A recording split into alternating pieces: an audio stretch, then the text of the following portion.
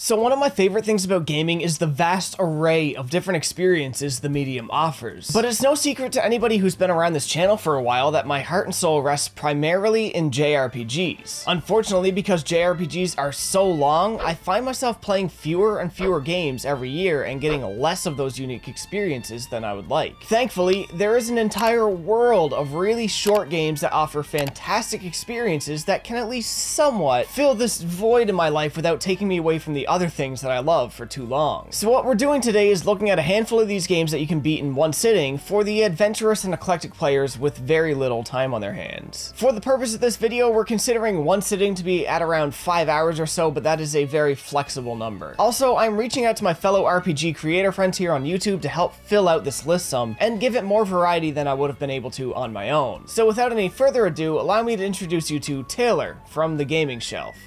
Taylor, take it away. Vanquish probably pushes the limit of what's considered a short game, but I don't care, you guys need to hear about this game. So Vanquish is a third-person shooter by Platinum Games, so you know you're in for some awesome action. Now in the game, you play as some soldier dude from America fighting Russian space terrorists. You know, honestly, it really doesn't matter, because Vanquish is all about the action. The key gameplay features that make this game so much fun are the sliding and the bullet time. Basically, you can slide around the environment with your guns, and you can get all these different cool angles and hop between cover. It's just so much fun. And also, while you're sliding or just running around, you can do bullet time so it makes the action even more fun.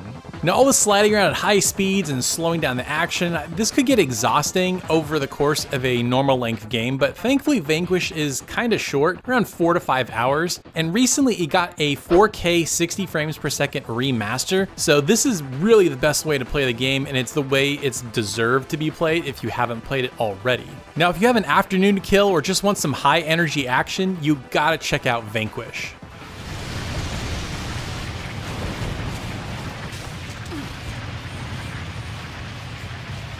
Vanquish is indeed an incredible game. I can vouch for that one. Now, our next guest is a bit of a YouTube legend. He's been around here for a long time, and he always has a story to tell. So, Johnny, also known as the Happy Console Gamer, take it away. Thank you, Mr. Tark's Gauntlet, for having me on, and I just have a very, very small story, a little one, from 1998. A certain game was released called Mega Man Legends, and we didn't really know what it was going to be like was it's going to be a good game. We're used to playing Mega Man in 2D and we're going to go full 3D with this one. So I went out and I bought the game and I put it down. I didn't even put it in because that night I was going out with some friends and we were going to this big party. And so I went to this big party, never turned the game on, went out and I got super, super drunk. Like, oh my God. And drinking all night with my friends. We had the best time ever until the very next morning when I woke up and felt like absolute death. And I'm like, oh my God, I feel so terrible. And I'm like, how am I to survive the day? And I got up and I made tea and I tried to feel better. Nothing made me feel better. I was just like, oh my God. And the day felt so long. And then I looked down and remembered I bought Mega Man Legends. And I'm like, okay, let's put this in. And I, I really went in, just throwing it in, kind of low expectations. I felt like death. I didn't think anything could make me feel good. I started playing this game, and in one sitting, I finished the game, and I completely forgot about my hangover. I completely forgot about everything that was going on that day except Mega Man Legends. And that's why it was such a, a fun game for me. And I think, you know, I think this is for like games you finish in five hours. I think this is a bit of a cheat. I think it's about seven plus hours that I finished the game. But man, what a memorable day. And for some reason, I always remember being hungover and that game saving me. That game saved me from my hangover. And what a great game, an action RPG kind of uh, kind of style of game.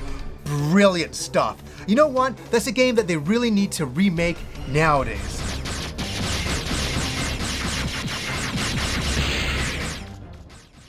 As I said, Always a story to tell, and it's great to hear. Thank you, Johnny. Now, the next game I've talked about before, but it definitely deserves a place in this list. So, take it away, me. Before Your Eyes.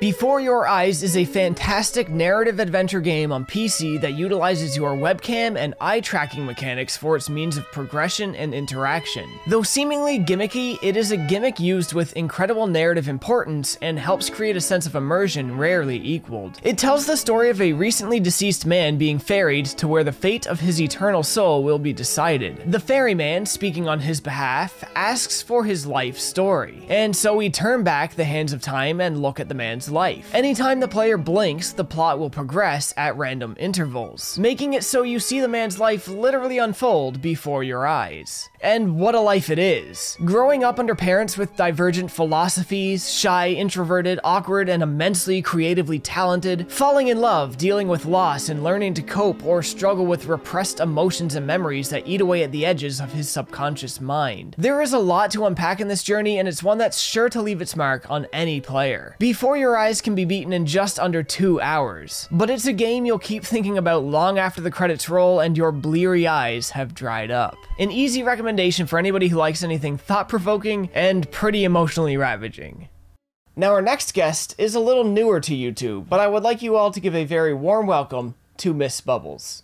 Hello, I'm Miss Bubbles, and a game that served as a palate cleanser to me after playing hours and hours of Assassin's Creed Valhalla was Donut County. This is a story-based physics indie game developed by Ben Esposito, the designer behind What Remains of Edith Finch, one of my favorite games of all time. I usually stay away from any game that goes around physics or puzzles or anything like that, but this one is completely different and I highly encourage you to try it. Donut County is full of charm, wholesomeness, and chaos all at the same time. You play as BK, a raccoon that can create holes in the ground and steal people's trash. But this time you have gone too far and you ended up stealing entire houses, cars, shops, your friends, and even yourself by mistake. So here you are trying to remember how you got everyone in this situation and you get to replay flashbacks to remember. In each level, you start with a small hole which then gets bigger and bigger as you steal more stuff and there are some instances where you can create special effects by combining different items together. There are some very light puzzle mechanics but they're nothing to be afraid of. I'm someone who's very bad with puzzles and I still figured it out so I'm pretty sure you're gonna have no problem dealing with any of them. And the dialogue is just hilarious, the characters are so cute and you, BK, you are always in denial, always refusing to admit what you did wrong and the gameplay loop is pretty addicting. The visuals are phenomenal, they're so simplistic yet so colorful and cute, and I adore the music. This took me about 3 hours to complete and it was a total joy to play in one sitting. For that, I invite you to try Donut County. It's very cheap and you can get it on sale for $3. All I want to say thank you Tark so much for inviting me. Have a lovely day everyone. Bye!